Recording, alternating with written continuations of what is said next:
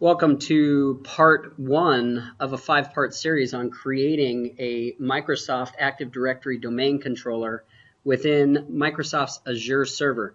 In this video series, I'm going to use the classic portal, as you can see, and my assumption is that you have already a Microsoft Azure account and that you've logged in successfully. Now you'll see a couple things on my screen that you won't see initially on yours, but let's go ahead and go through the process. So this first step is that we have to create an Azure virtual network.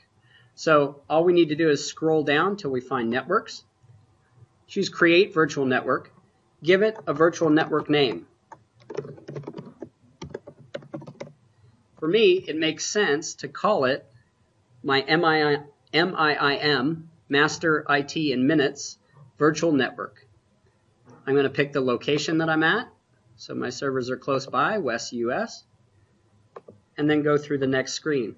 Now here, I'm going to leave the DNS server blank and not choose VPNs. We'll configure this after we create our domain controller.